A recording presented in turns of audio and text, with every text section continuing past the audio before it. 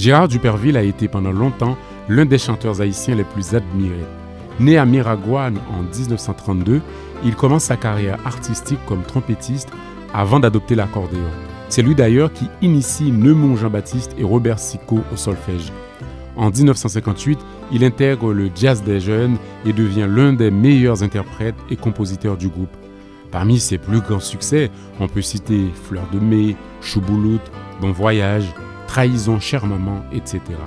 Devenu aveugle dans les années 80, le chanteur a fini ses jours dans la misère à New York où il meurt le 12 juin 1994 à l'âge de 62 ans.